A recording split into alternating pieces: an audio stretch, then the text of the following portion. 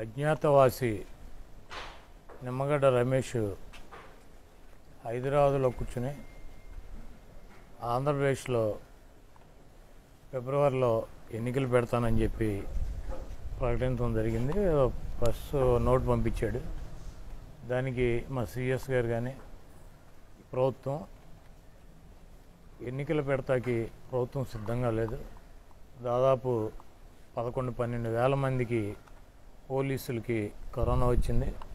అదేవిధంగా రెవెన్యూలో కానీ టీచర్స్గా కానీ పనిచేస్తున్నటువంటి అనేక మందికి విధులు నిర్వహించాల్సినటువంటి వాళ్ళకి కరోనా వచ్చి ఇంకా కోలుకుని మళ్ళీ వాళ్ళకి అంటే కరోనా వచ్చిన వాళ్ళకి కొన్ని ఆరోగ్య సమస్యలు వచ్చి సెలవుల్లో ఉన్నారు. కాబట్టి ఎన్నికలు పెడతాకి ప్రభుత్వం సిద్ధంగా లేదని చెప్పి స్పష్టంగా తెలియజేశారు.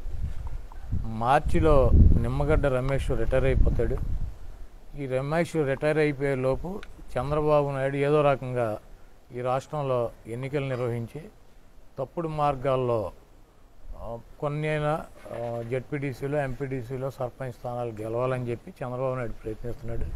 ఒక రాజ్యాంగ వ్యవస్థలో ఉంటూ నిమ్మగడ్డ రమేష్ సిగ్గు శరం లేకుండా ఒక రాజకీయ పార్టీ ఇచ్చినటువంటి లెటర్లని పట్టుకుని ఆ లెటర్లను చదువుతున్నటువంటి నిమ్మగడ్డ రమేష్ ఎమ్మటే రాజీనామా చేయాలి.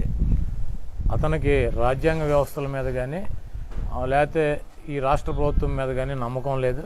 అతను చంద్రబాబు నాయుడు నియమించాడు కాబట్టి అరవై సంవత్సరాలకి రిటైర్ అయిపోయేటువంటి వయసులో అతను నియమించి అరవై సంవత్సరాలు ఉద్యోగం చేసుకోవటానికి చంద్రబాబు నాయుడు అవకాశం కల్పించాడు కాబట్టి చంద్రబాబు నాయుడు సంకనాకి అటువంటి కార్యక్రమాలు మానుకుంటే మంచిది.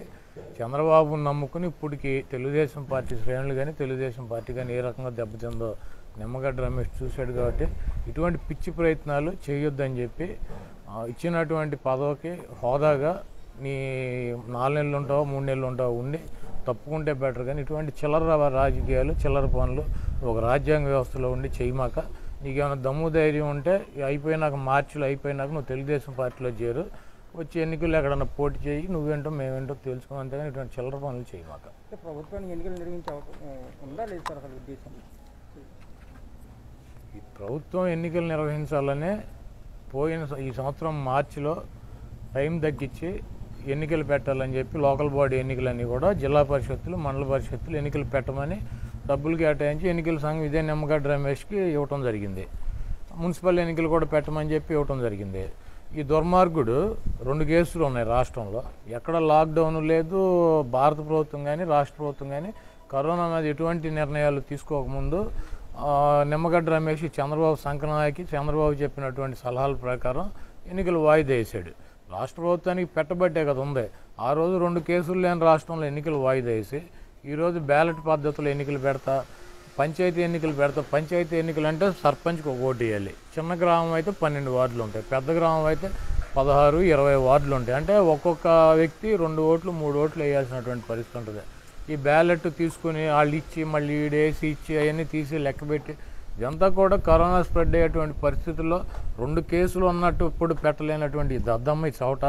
ఇప్పుడు ఈ రాష్ట్రంలో ఇరవై వేల కేసులు ఉన్నాయి. రోజు వెయ్యో పదిహేను వందలు రెండు వేల కేసులు వస్తున్నాయి. ఇప్పుడు ఎన్నికలు పెడతానంటే బుద్ధి జ్ఞానం లేదు వయసు వచ్చింది సిగ్గుచారం లేదు. ఈ చంద్రబాబు నాయుడు ఈ నిమ్మగడ్డ రమేష్ వీళ్ళేం బయటికి రారు. వీళ్ళు జూమ్ యాప్ ఒకటి పెట్టుకుని లేఖలు రాసుకుంటూ హైదరాబాద్లో వస్తారు ఇక్కడ జనాన్ని చంపేటువంటి ప్రయత్నం చేస్తుంటే ఈ రాష్ట్ర ప్రభుత్వం చూస్తూ ఊరుకోదు. నిమ్మగడ్డ రమేష్ కావచ్చు నిమ్మగడ్డ రమేష్ బాబు కావచ్చు ఎవడైనా కావచ్చు. ఈ రాష్ట్రంలో ఇప్పుడు ఉన్నటువంటి పరిస్థితులు ఎన్నికలు పెడతాకి అవకాశం లేదని చెప్పి చాలా స్పష్టంగా సిఎస్ గారు మా ప్రభుత్వం చెప్తుంది. అధికారులు కూడా సిద్ధంగా లేరు. ఆయన కోర్టులకు వెళ్తానన్నాడు ఇంకో చోటుకి వెళ్తున్నాడు ఎల్- ఎక్కడికి వెళ్తాడు వెళ్ళమనండి ఏం డైరెక్షన్లు వస్తే మాకు హైకోర్టులో వస్తే సుప్రీంకోర్టులో ఉన్నాయి. మా నిర్ణయాలు మేము తీసుకుంటాం. ఈరోజు గవర్నర్ కలవబోతున్నారు సిఎస్ గారు. గవర్నర్ కూడా ఆమోదిస్తే పెట్టుకోమని. ఎందుకు గవర్నర్కి తెలియదు అంటారా గవర్నర్ రాజకీయాల్లో లేడు గవర్నమెంట్ పరంగా తనకి సహకారం ఉండట్లేదని గవర్నర్ కలుస్తాను. గవర్నర్ పరిపాలన పెట్టి పెట్టుకుంటారేమో మరి మనకు తెలియదు